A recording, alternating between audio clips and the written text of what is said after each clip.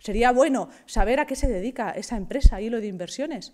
Los ciudadanos también quieren saber por qué emplea una fórmula de donación de una empresa que se llama Hilo de Inversiones, cuyo único titular es su marido, y a qué otras empresas o entidades está facturando hilo de inversiones. Sería bueno también que se explicara. No queremos transparencia, no predicamos transparencia, que lo expliquen.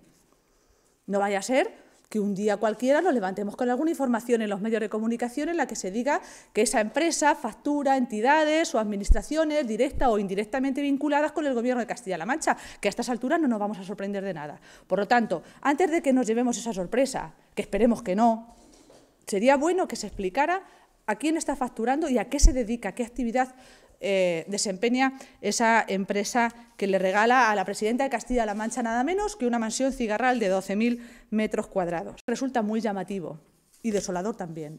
Los ciudadanos se tienen que estar echando las manos a la cabeza mm, que apenas unos días después de que la propia Fiscalía Anticorrupción pidiera más de 40 años de cárcel para el señor Barcenas, ahora con esos 200.000 euros, curiosa coincidencia con los 200.000 de Castilla-La Mancha, se le ponga en libertad.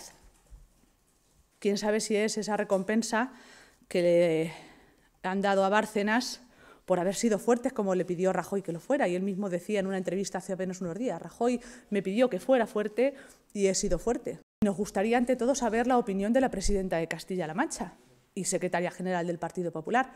¿Sigue pensando Cospedal que es un delincuente? ¿Qué opina que a un delincuente, tal y como ella lo ha denominado en numerosas ocasiones, y por cierto que compartimos, ¿Qué opina de que este delincuente ahora con 200.000 euros, los mismos que él dice que se pagó al PP de Castilla-La Mancha, se le ponga en libertad? ¿Va a seguir diciendo que es un delincuente o por la cuenta que le trae va a guardar silencio? Me parece vergonzoso e intolerable que alguien como el, el portavoz parlamentario del Partido Popular desprecie una medida que clama a la sociedad de forma desesperada, que es que aquellas familias que lo están pasando francamente mal puedan tener una renta básica.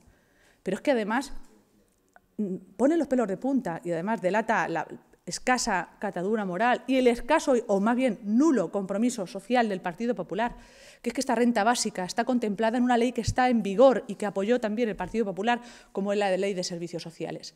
Me gustaría que explicara al señor Cañizares si él mismo está pidiendo que se incumpla la ley de servicios sociales. Seguramente lo estará pidiendo, porque así efectivamente se está haciendo. Cospedal está incumpliendo la ley de servicios sociales de Castilla-La Mancha.